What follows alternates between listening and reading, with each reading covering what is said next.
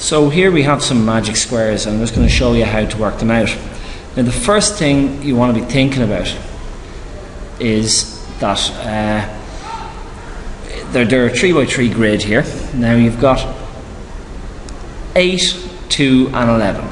Now to get the, the magic number here, you add 8 plus 2 plus 11. So you'll have 8 plus 2 plus 11.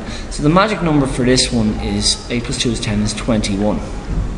Now the thing about a magic square is that all the rows, all the columns, and all the rows have to add up to 21.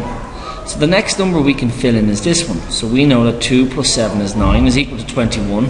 So this number has to be um, 9 from 21, which is 12. Now here we have 8 plus 7. 8 plus 7 is 15 this number has to be 6. We know that 6 plus 12 is 18. This number has to be 3. But also, if we had 3 plus 7 plus 11, we get the 21. Now we've got these here, these middle ones. So 8 plus 3 is 11. 11 from 21 would have to be 10. And 17 minus 21 would have to be 4. So that's our first magic square completed. Now, the first thing you have to start with is really getting in getting the magic number of, uh, uh, of the of the of the magic square first.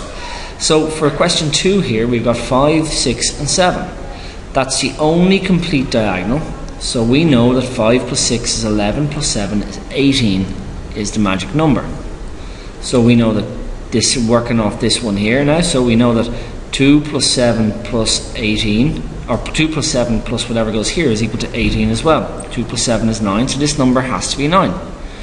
5 plus 9 plus whatever number has to be 18, so it's 5 plus 4 plus 9 equals 18.